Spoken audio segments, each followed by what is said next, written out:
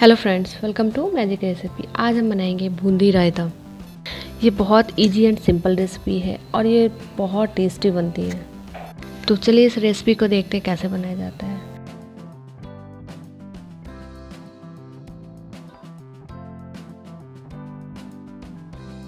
इसके लिए मैंने लिया है 200 ग्राम के करीब बेसन बेकिंग सोडा चार बड़े चम्मच ऑयल चॉप्ड ग्रीन चिली एक चम्मच लाल मिर्च पाउडर चॉप्ड कोरिएंडर लीव्स आधा चम्मच ब्लैक पेपर पाउडर आधा चम्मच चाट मसाला, एक छोटी चम्मच जीरा पाउडर, आधा चम्मच ब्लैक पेपर पाउडर एक बोल में सबसे पहले हम बेसन डालेंगे।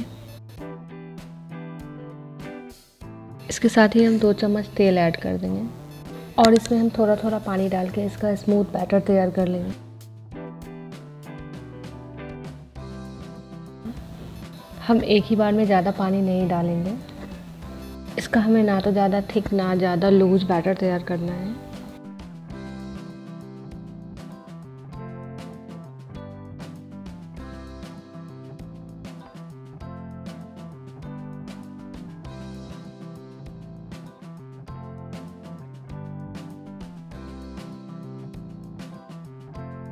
अब हम इसमें एक फोर टीस्पून के करीब बेकिंग सोडा ऐड कर देंगे और इसे एक ही डायरेक्शन में अच्छे से मिक्स कर लेंगे। इसकी कंसिस्टेंसी कुछ ऐसी होनी चाहिए। अब चढ़ाएँगे गैस पे कढ़ाई, उसमें डाल देंगे हम ऑयल ऑयल अभी हम ज़्यादा यूज़ करेंगे। इसके ऊपर हम थोड़ा सा बैटर डाल के इसको हम चारों साइड घुमाते हुए डालेंगे। आप देख सकते हैं कि हमारा बूंदी कितना गोल गोल बना है।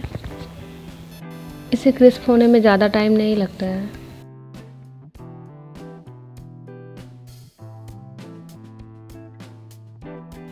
अब हम इसे एक छन्नी में निकाल लेंगे, जिससे कि इसका एक्स्ट्रा ऑयल निकल जाएगा।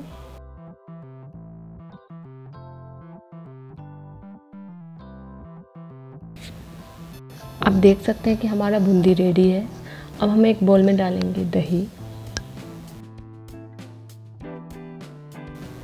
और दही को हम अच्छे से विस्कर से स्मूथ कर लेंगे।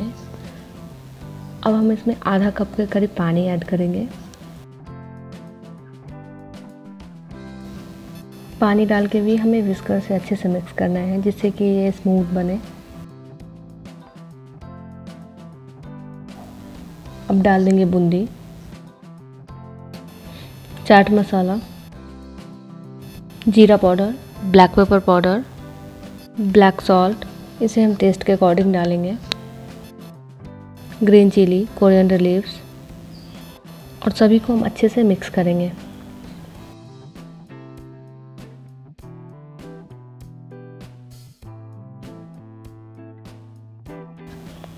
इसके ऊपर अब हम राई और रेड चिली पाउडर का तड़का लगा देंगे।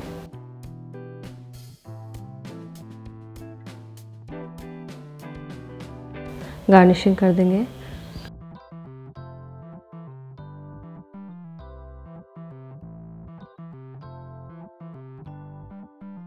हमारा बूंदी रायता रेडी है। अगर ये रेसिपी अच्छी लगे तो हमारे वीडियो को लाइक कीजिए कमेंट कीजिए एंड हमारे चैनल को सब्सक्राइब करना ना भूलें। Thanks for watching my video